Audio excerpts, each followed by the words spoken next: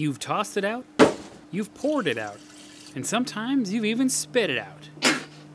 Spoiled foods and drinks can dent your budget and shock your senses. Now, researchers in China have invented a color coded smart tag that could tell consumers if a product is spoiled without having to open the container. The gel like tags shown off at the national meeting of the American Chemical Society are about the size of a kernel of corn. They contain metallic nanorods that change color over time as they react, mimicking the length of time that microbes grow in foods. The tags also take into account temperature fluctuations that would spoil a product before its expiration date.